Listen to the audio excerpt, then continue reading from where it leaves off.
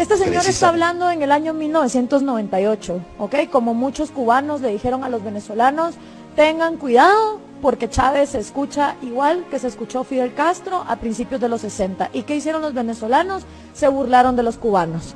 Les dijeron exagerados, les dijeron estás en fantasía, Cuba es una isla, nadie puede ir a rescatarla. En cambio Venezuela es vecina de Colombia, es vecina de Brasil, eso aquí no va a pasar.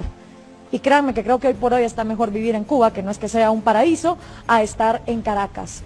Eh, entonces, nadie aprende en pellejo ajeno. ¿sí? Si podemos regresar a la infografía que yo tenía antes. Si todos aprendiéramos en pellejo ajeno, los chinos, antes de seguir a Mao, hubieran aprendido de la miseria que estaban viviendo los rusos en los gulags. Si todos aprendiéramos en pellejo ajeno, los vietnamitas hubieran aprendido de los chinos y de los soviéticos. Si todos aprendiéramos en pellejo ajeno, los cubanos hubieran aprendido de los soviéticos, de los chinos y de los vietnamitas. Si los venezolanos hubieran aprendido en pellejo ajeno, hubieran aprendido los cubanos, etcétera, etcétera. Entonces nunca nos creemos el cuento. Eso aquí no va a pasar. Y para uno no quedar como un paranoico, que lo que está es montando una teoría conspiración, vamos a hablar con hechos y con realidades. Pero el populismo que actualmente estamos viviendo en América Latina sí tiene una fecha de nacimiento y es el Foro de Sao Paulo en 1990. ¿Por qué?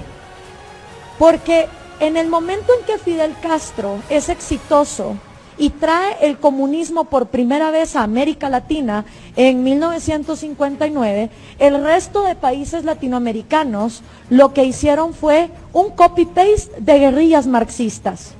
Guerrillas en Guatemala, en El Salvador, en Nicaragua, el APRA en Perú, en Uruguay, donde participó Mujica, guerrillas en Argentina y por supuesto la guerrilla más multimillonaria de todas, las FARC en Colombia. Todas estas guerrillas marxistas no se dieron por casualidad. Venían financiadas por la Unión Soviética con el entrenamiento cubano.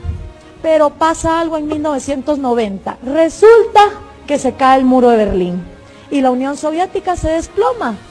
Y ya no hay mama soviet que pague dinero para las Kalashnikov, para los bombazos, para los secuestros, para todo lo que requiere un armamento guerrillero y enfrentarse contra el gobierno. Fidel Castro se empezó a dar cuenta que la Unión Soviética estaba colapsando desde 1987 y empieza entonces a ver cuál va a ser la estrategia para postergarse en el poder, porque Cuba es una isla que necesita recursos que vengan de afuera. Y si no iba a estar la Unión Soviética, ¿cómo iba a sobrevivir Castro en el poder? Entonces, busca a un joven marxista, sindicalista, apuesto, carismático, súper querido, de una de las naciones más millonarias de América Latina, Lula da Silva, en Brasil. Y le dice, oye Lula, aquí va a haber un problema, porque la Unión Soviética va a colapsar. ¿Cómo vamos a hacer para seguir llegando al poder? Y organizan en el año 1990 en Sao Paulo, Brasil, el primer foro de Sao Paulo. Y en ese primer foro de Sao Paulo asisten todos los partidos comunistas, todos los guerrilleros marxistas, todos los sindicalistas de izquierda de la región latinoamericana. ¿Qué significaba esto? Que si tú eras comunista, en lugar de agarrar un fusil e irte a la montaña, podías formar tu partido, presentarte elecciones y que la gente te votara. Hay un pequeñito problema. ¿Cómo hacemos para que la gente vote por comunismo en pleno año 90, cuando acaba de desplomarse el muro de Berlín y estamos descubriendo que 100 millones de seres humanos han muerto víctimas del comunismo? Está un poquito jodido vender esa idea cuando tanta gente ha muerto. Entonces había que encontrar una manera de manipular la democracia para poder llegar al poder. Aquí la lucha no es violenta, no se trata de andar matando gente, ni de irse al monte en una guerrilla. Aquí de lo que se trata es de hegemonía cultural. O sea, lavar cabezas.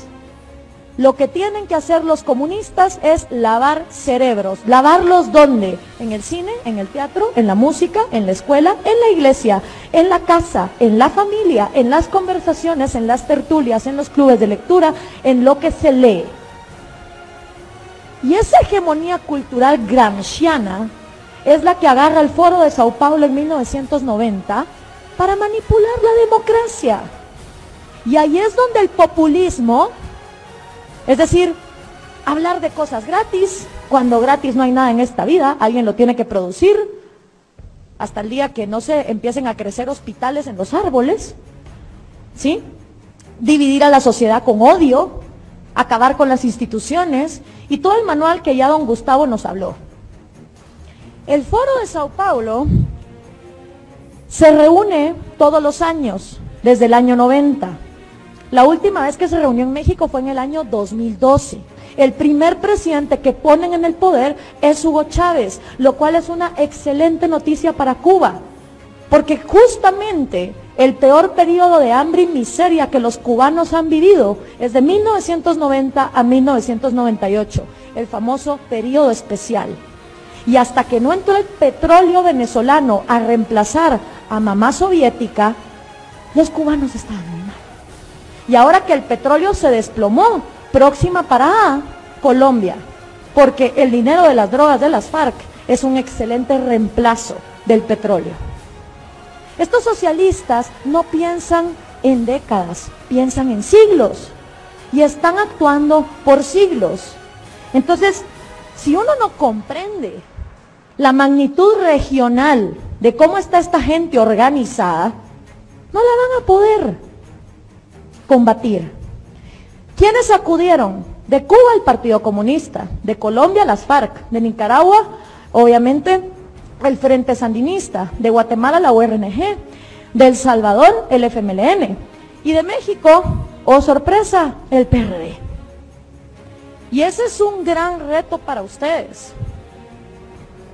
Porque a partir del año 2015, Morena también es miembro del Foro de Sao Paulo. Pero el PRD es miembro del Foro de Sao Paulo desde que López Obrador estaba en el PRD. Entonces, yo en su lugar no sé qué haría, pues. No, se lo digo de verdad, porque si un partido hoy por hoy es miembro del Foro de Sao Paulo, lo que le está diciendo al mundo es el socialismo del siglo XXI es la vía. La dictadura venezolana es lo que hay que emular. Vamos para allá. Un partido que hoy sea miembro de este foro está dándole aplausos y espaldarazos al genocidio que está ocurriendo en Venezuela. Y si ustedes salen a decir, Morena es miembro del Foro de Sao Paulo, ¿qué van a hacer cuando les digan y el PRD también? Por eso es importante entender, si vamos a ser congruentes, como se dijo aquí antes, y si no van a llevar el populismo destructivo al poder,